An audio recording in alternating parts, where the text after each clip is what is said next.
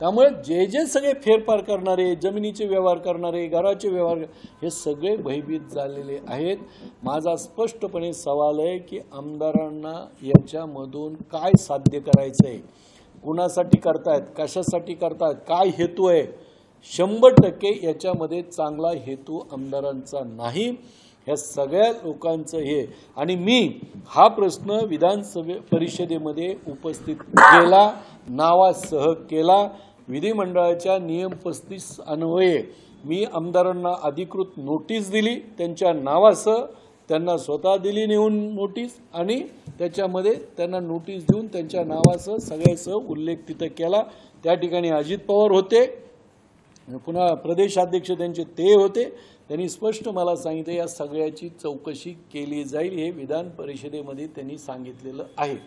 आता मी हे सगळे कागदपत्र अनेकांच्या तक्रारी अर्ज हे राष्ट्रवादी काँग्रेस पक्षाचे ज्येष्ठ नेते आदरणीय शरदचंद्रजी पवार साहेब यांच्याकडं पाठवून कलेक्टर कमिशनर आणि यांच्याकडं सुद्धा या संदर्भातल्या तक्रारी देतोय. आणि या निमित्तानं मी आपल्या मार्फत बीडमधल्या जनतेला सांगू इच्छितो. एबीपी माझा. उघडा डोळे बघा नीट.